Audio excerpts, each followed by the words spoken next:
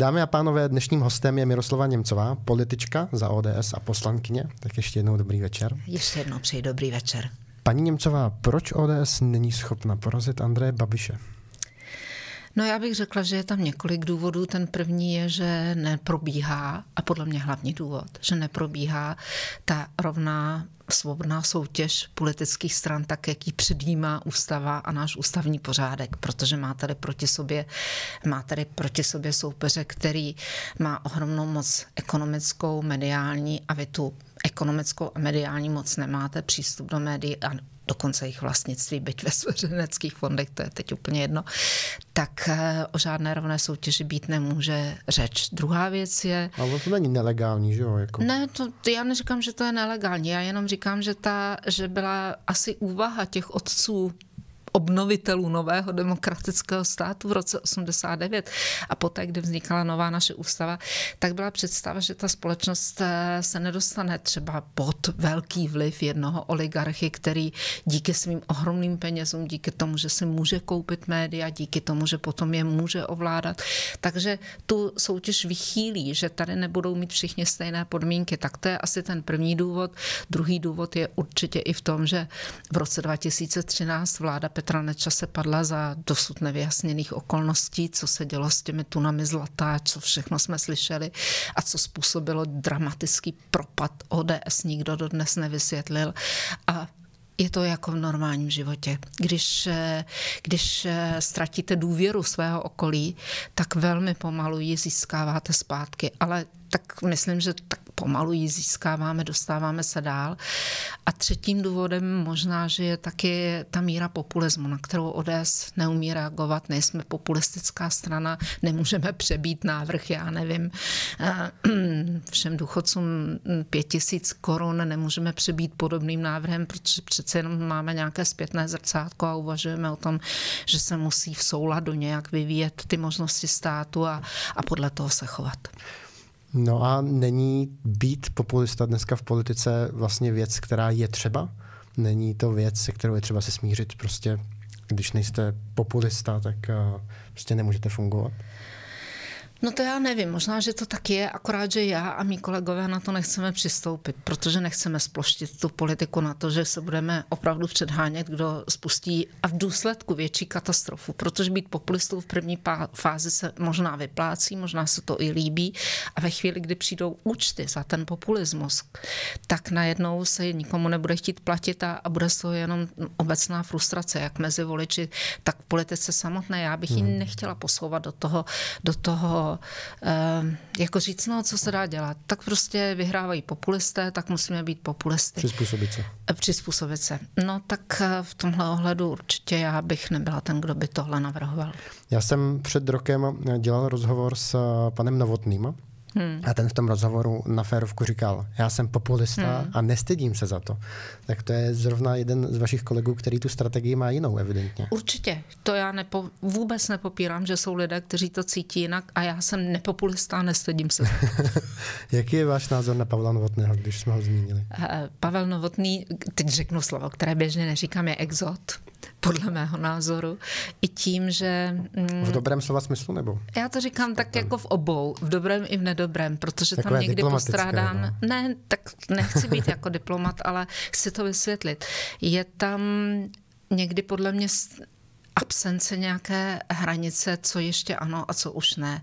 I při té míře populismu, i při tom, že, že je velký extrovert, že, že má rád ta silná slova, tak třeba já už, eh, mně se líbilo, co řekl na adresu Číny, nebo co říká na adresu Ruska a jakkoliv jsem naprosto zapřísáhlým odpůrcem toho, jak vykonává svůj úřad prezident Zeman, nebo jak eh, vykonává svůj úřad předseda vlády Andrej Babiš, tak ty věci o jejich střílení, to už je prostě pro mě za všema hranicemi.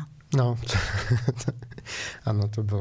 Uh, no ale dovedete si představit, uh, že by pan Novotný třeba výhledově se stal předsedou ODSky? Já myslím, že ne. Ne? Ne. Nevsadila byste se ne, na to? Ne, nevsadila bych se na to. A nemohlo by to ty ODSC v rámci, vlastně v rámci ideí a těchto z těch věcí to neřešme, ale v rámci procent, v rámci politického zisku nemohlo by to pomoct? On má své příznivce, bez pochyby. Vidím, že reagují lidé na jeho, na jeho některá gesta nebo projevy nebo, nebo nějaká prostě vyjádření, tak reagují příznivě, ale zároveň vidím uvnitř ODS, že je větší skupina těch, která si nemyslí, že by to byl ten správný předseda politické jo. strany. Tak to musí ještě zamakat na té vnitrostranické politice. to už je na něm. Předsedu. No a kdyby kandidoval na předsedu, tak vy byste ho nevolila? Ne, já bych ho nevolila, ale není to proto, že bych si nemyslela, že, že to je člověk, který prostě nepatří do politiky. On je starostou, získal to starostenské místo proto, protože v tom eh, v Řeporii, kde žije, dokázal přesvědčit lidi o tom, že má nápady, které pro ně budou prospěšné, že tam se bude hospodařit, žít a, a všechno rozvíjet dobře, tak jak oni si přáli. Tak v tomhle ohledu já bych ho nekritizovala vůbec, ale přece jenom pro mě, a to má každý jinak, je to subjektivní, každý by si vytvořil představu toho předsedy nebo velkého politického lídra jinak a do té, do té mojí představy Pavel Novotný nespadá. Slyšel jsem eh, takový komentář, že Pavel Novotný je takový Andrej Babiš pravice. To já jsem ještě neslyšela. ne. Um, no, každopádně um, Mimo jiné, tak eh, jsem také natáčel rozhovor s panem Hamáčkem hmm. a ten vyprávěl vlastně zajímavou věc. Eh, já jsem se ptal na to, proč šli do vlády s Andrejem Babišem. A on říkal, že vlastně nebyla jiná možnost, že eh, to byla záchrana vlastně toho našeho státu předtím, aby tady nevznikla vláda z SPD. Hmm. A mě napadá, Není škoda, že ta ODS se toho prostě vzdala, že řekla, ne, my s Andrem nepůjdeme? Ne, není to promeškaná příležitost? Nebyla to promeškaná příležitost? Já bych řekla, že rozhodně ne.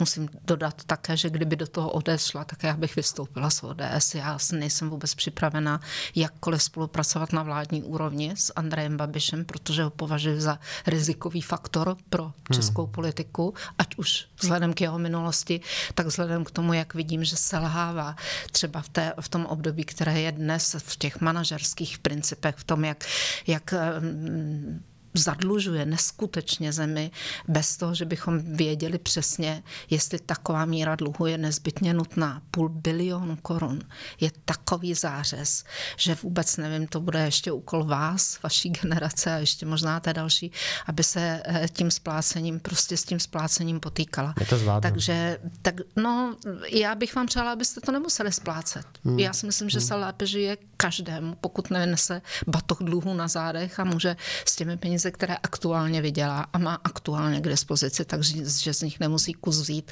a dát je na, spát, na splátku dluhu, které naseká tenhle ten pán. Rozumím.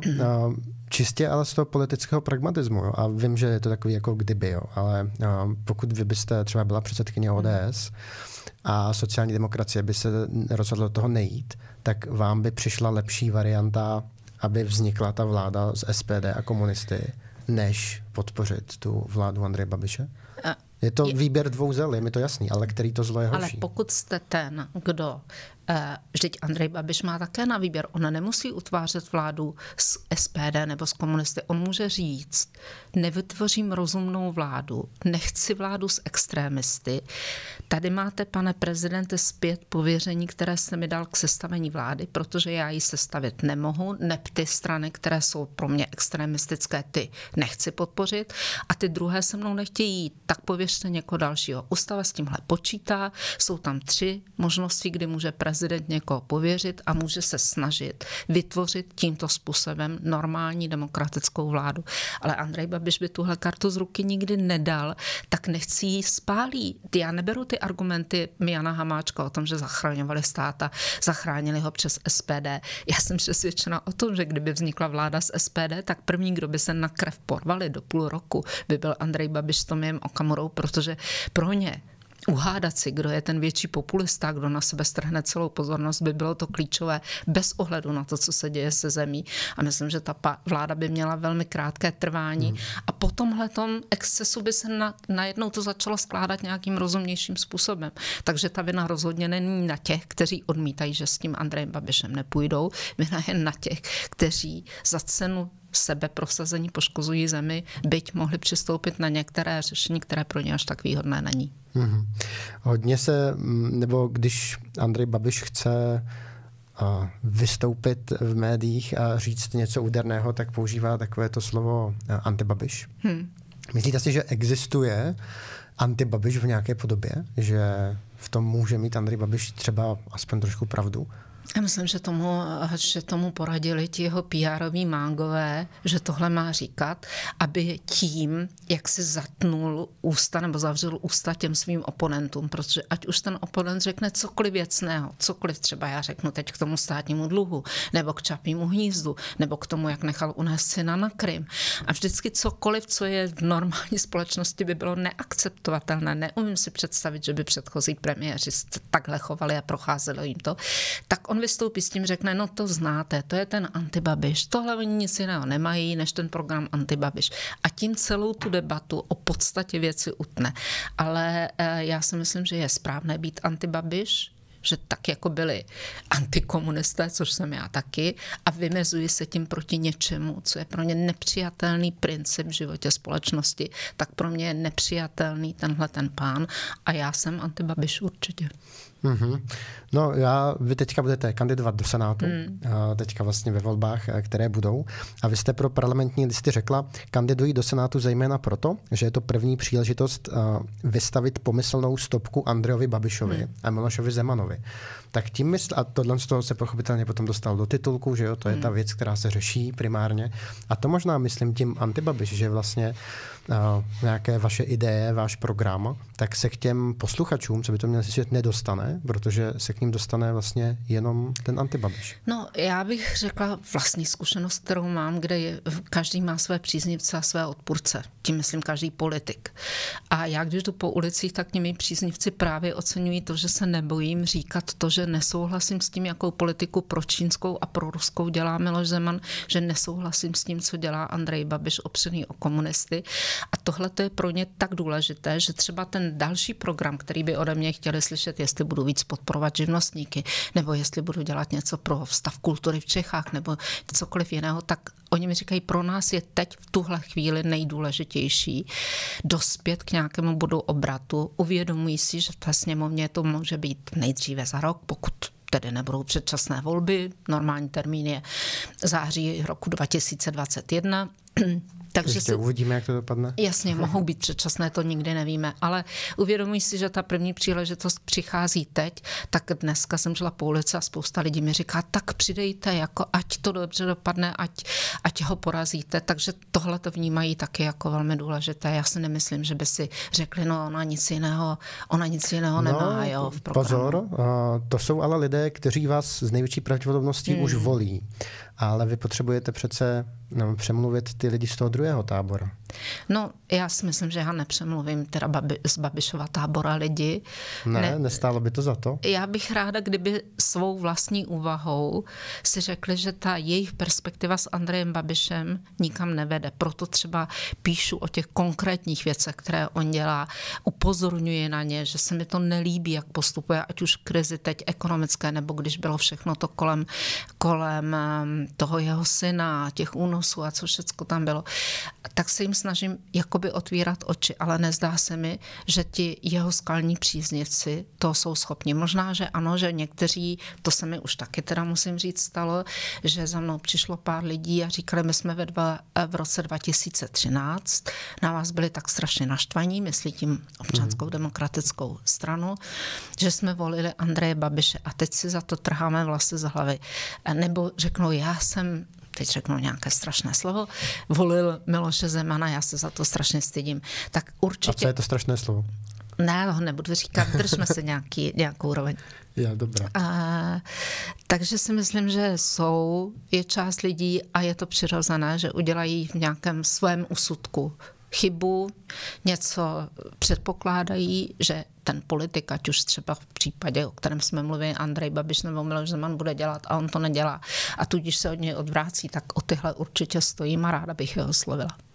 To je zajímavý, no. Vy vlastně uh, vidíte primárně tu chybu v těch uh, voličích Andreje ne, Babiše, ale dá se na to také podívat právě tím úhlem pohledu, že ta chyba je v té opozici, která neumí ty jeho voliče jako jí nabídnout vlastně. Já bych si nedovolila teda v žádném případě někoho odsuzovat za způsob, koho si vybral a jak volil. Proto jsem řekla a i te, před... teďka jste řekla, že udělali chybu. Před chvíli jsem řekla, že oni mi říkají, že udělali chybu. To neříkám já, že za mnou přijdou a řeknou já jsem a teď řeknou nějaké slovo, že já jsem hloupej třeba, že jsem mu dal hlas.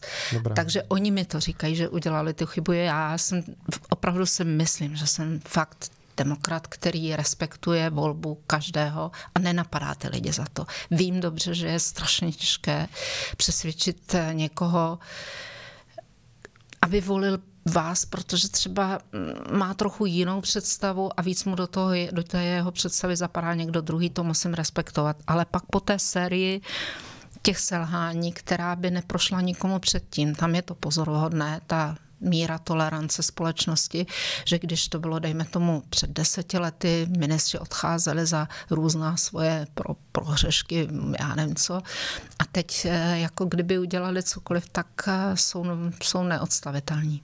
Síla marketingu je skoro nekonečná často v tomto. No to mě docela děsí. Byla bych radši, kdyby to tak nebylo. No každopádně vy kandidujete do Senátu na společné kandidáce stran ODS, ano. TOP 09 a Hnutí starostové. A ještě k tomu les liberálně ekologická strana. Oh, a, hmm, OK. A to znamená, že na podobnou nějakou koalici se můžeme těšit i do parlamentních voleb? Já nevím. Opravdu nevím. Eh, ty koalice, které se uzavírají, a nejsem já jediná, která má nějakou koalici spolupracujících stran pro volby do Senátu. Uzavírají se podobné i pro volby krajské. A my jsme třeba už před dvěma lety jako ODS zaznamenali, že tam, kde se nám podařilo utvořit nějaké koalice, tak jsme daleko snadněji na to senátorské křeslo dosáhli. Takže je to úspěšná strategie, kterou se snažíme takhle tímhle způsobem v ní dál pokračovat. Znamená to, že třeba někde nenasadíme svého člověka v některém senátním obvodu, nekandidujeme kandiduje někdo za ODS, ale podpoříme buď to někoho z TOP 09 nebo někoho od mhm. starostů a podobně. A že to je taková šance dostat do toho senátoru, do senátu opravdu složení lidí, kteří budou to, co se říká takovým slovem těžkou uchopitelným pojistkou demokracie, ale myslím si, že přesně tam to míří. Já vím, přece jenom ty parlamentní volby jsou volby snad po prezidentských z největší volební účastí, které jsou. Je to velká politika, velká strategie a já se na tady ty koalice vlastně, hmm. ty předvolební, tak ptal jsem se i paní Pekarové hmm. prostě. A vlastně furt pořád mi nikdo neřekl nic konkrétního. A já teďka dumám nad tím, čím to je. Je to tím, že vlastně ještě nevíte, anebo je to tím, že to nechcete prozrazovat dopředu? Jaká je ta atmosféra ne. vevnitř? Znáte média, pohybujete se v nich. Kdyby už něco bylo uzavřené a dojednané, tak by se to objevilo venku dřív, než my bychom si přáli a než bychom došli na tiskovou konferenci.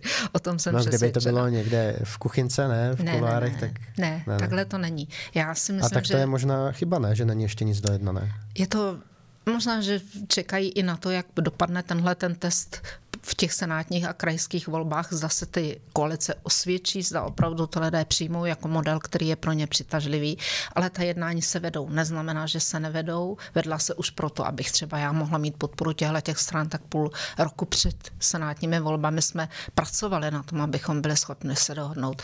Ale myslím, že každá ta strana musí uvnitř si projít procesem toho schválení toho modelu, že vstoupí do nějaké koalice a to tedy vůbec není snadné protože na některých místech si ty lidi třeba lokálně velmi ublížili. Známe místa, kde na radnici se nějak dlouhodobě nezhodli lidé z, třeba z ODS a z KDU ČSL. Jinde se nezhodla KDU ČSL s Topkou, jinde zase třeba Topka s někým jiným.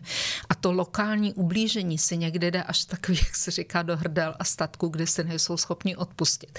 A když přijdete za tím členem té politické strany, třeba za někým z ODS, v nejmenovaném městě, kde si takhle poubližovali a řeknete, my s nimi půjdeme do koalici, tak oni se chytnou za hlavu, říkají, no to je prostě nepřijatelný. To jsou... A teď to všechno modeluje na tu situaci toho svého města, na tu svoji špatnou zkušenost a velmi těžko se přes ní může přenést. Tak to je jeden z problémů, proč to dlouho trvá, protože ten demokratický proces uvnitř těch stran je opravdu dlouhodobý, musíme se přesvědčit, nemůžeme to zlomit přes koleno, ale ta jednání se vedou. Myslíte si, že je možné porazit Andreje Babiše pokud uh, se ta opozice nespojí do koalic? Myslím si, že ne. Rozumím. Uh, vy jste členka ODS od roku 1992 hmm. a od roku 1998 tak jste poslankyní vlastně ODS. Dvakrát jste kandidovala na předsedkyni ODS, hmm. jednou vás porazil pan Topolánek, po druhé vás porazil pan Fiala. Hmm. Kde je chyba? No určitě ve mně. A konkrétně? Nevím, mám nějaké vlastnosti, které třeba těm členům nepřijdou tak jako důležité a jiné, které jim chybí, neumím je vyjmenovat, nikdy jsme s takovou sondu nebo analýzu jsem se nedělala, ale na nikoho bych to nesváděla. Já si myslím, že zvítězili ti, který, kteří měli větší podporu a neměla jsem napřed když jdete do nějakého boje, tak vás nikdo si nejde pro porážku, nikoho to netěší, že prohraje. No ale pak je otázkou se s tím umět smířit, tak přesto jsem se přenesla. No, já jsem dneska do okolností koukal na eh, web eh, ODS hmm. a spočítal jsem si takovou malou statistiku. Jo. V předsednictvu ODS tak je 8 mužů, hmm. žádná žena. V republikovém sněmu je pět žen, ale 102 mužů. Hmm. A v poslanci tak je 20 mužů, tři ženy. Vy jste jedna z nich. Hmm. A mně to trošku jako zní, že ODS je prostě hodně strana mužů. A hra, myslíte, že může hrát i toto roli? Neřekla bych, že při té mojí volbě hrála roli, nebo při tom mém nezvolení hrálo roli to, že by si ti delegáti řekli, že protože jsem žena, takže mě nechtějí a že chtějí mužského reprezentanta. Fakt si myslím, že ne. My jsme prodělali, nebo ani jsme neměli bolavou debatu o kvótách pro ženy, protože jsme jednotlivě, eh, jednoznačně, ani my ženské zástupkyně ODS, ani mužtí je nepovažujeme za normální, za něco, co by prospělo eh, té politické situaci. Takže já to beru tak, že eh, když se ale podíváte na ty ostatní politické strany a jejich zastoupení třeba ve sněmovně, tak ono je to velmi podobné. Tam těch žen nemá nikdo nějak víc, než máme třeba my na to procentuální zastoupení z toho celého. Mm, a takže to dělají, že to dělají ostatní, neznamená... Ne, to, to jistě ne, ale uh, já se nevím představit, jak um, jiným než umělým způsobem posílit na té vrcholné reprezentaci ten ženský element a ten umělý způsob já odmítám. Mně se líbí to, že máme spoustu starostek, spoustu, ne, ne hitmanek, ale krajských zastupitelek, ale taky to i přičítám tomu, že je snadnější, když jste starostkou, i když je to velká suma práce, povinností od rána do večera, ale ta šance, že večer přijdete domů a jste se svými dětmi a se svou rodinou tam téměř každý den je. Ale když jste poslankyní, tak to znamená, že jste-li z Ostravy, z Uherského hradiště, z Karlových varů, tak odjedete na týden do Prahy a vrátíte se na víkend domů. A musíte mít stoprocentního manžela, který každé ráno vzbudí děti, připraví jim snídani, aktovky do školy, ví přesně, jaké mají mít úkoly. Musíte si obrátit ty role trošku. Musíte si úplně obrátit role a um, na tom bych řekla, že to hodně troskotá, ale nejenom na tom, že by že to obrácení rolí prostě třeba tomu partnerovi, že ho to přestane bavit a spousta těch manželství kromě jiného se tedy rozpadla, ale myslím, že pro ty ženy je tam ještě jeden moment, a to je ta citová vazba, kdy třeba jít od malého dítěte a, a dostat večer telefon, že má teplotu a vy za ním nemůžete jít a nemůžete ho držet v náručí a být fakt jako takovou tou oporou pro něj, takže tím strašně strádáte jako matka. A to já myslím, že je v tom rozhodování těch žen, jestli ve chvíli, když už mají větší děti, tak to je něco jiného, nebo velké děti. Ale když mají malé děti, tak je to pro ně taková karta, kterou myslím nechtějí zvednout a nechtějí platit takovouhle cenu za tu politickou kariéru. Teďka jste krásně popsala, jaká je ta aktuální situace a mě by zajímalo, jestli to vnímáte jako problém, který se, hmm. jako naší společnosti, který se dá řešit, a nebo je to prostě takhle přirozené prostě a je to tak a tak to taky bude. Já si myslím, že to je přirozené, že pokud ty jakákoliv adeptka na politickou funkci velkou chce jít do velké politiky a uspořádá si svůj život tak, aby jí to umožňovalo, tak si to udělá. Ale nemyslím si, že má existovat nějaký speciální vládní program, státní program nebo ta povinnost těch kvot, která by to zajistila. To není cesta, kterou já bych preferovala. Vy jste v roce 2010 pro novinky CZ řekla, že vedení ODS je mačichistický klub. Hmm. Pamatujete si to? To už si nepamatuju, no. tohleto. Ale možná, že to souviselo nějak... S panem Topolánkem to souviselo. To jsme byli ve sporech s Mirkem Topolánkem. A změnilo se to od té doby v ODS? No, A v čem? On, Mirek Topolánek byl typově eh, ten předseda, kterého třeba velká část lidí obdivovala, protože on měl fakt takovou tu ráznost, bouchnul do stolu a, a, a emoce lítaly vzduchem. A tohle to e, mě nevadilo, mě vadily spíš takové tam mm, jiné věci a mm, tak jsme se moc nerozuměli v poslední době. No. Mám na vás dotaz, eh, který nenávidíte. Vy jste řekla je. pro dnes, že dotazy na prezidentku nenávidíte. Tak nebudu se vás ptát, že jo, ale zeptám se vás, proč nemáte ráda dotazy na prezidentku, respektive otázku, proč, jestli budete kandidovat na prezidentku. No, já myslím, že to jsem teda si vykoledovala to, že tuhle tu otázku dostávám úplně všude. Ve chvíli, kdy řeknete, že něco nemáte rád, tak už automaticky... Já jsem ještě nepoložil tu otázku, pozor. No ne, protože se mi zdá hodně předčasná, že to je takový, mm, jak si ta role prezidenta se u nás přepaluje do něčeho, co je jako nejdůležitější úplně ze všeho. A Miloš Zeman, jak říkám, já s ním nesouhlasím, ale má dva a půl roku, nebo nevím teď přesně kolik ještě před sebou.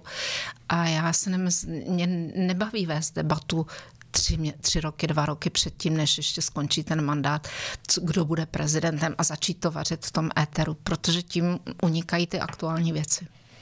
Může v, Takhle, vy eh, jste řekla, že nad tím uvažujete, takže hmm. nevyloučila jste to, pořád hmm. nad tím uvažujete. Eh, hraje v tom, nebo bude v tom třeba hrát i roli to, jestli se vám teďka podaří uspět v těch volbách do Senátu? Určitě jo. To je nějaký to znak, určitě, který ano. Je to, je to nějaký výsledek, vědět, jasně, něco mi to řekne. Mm-hmm.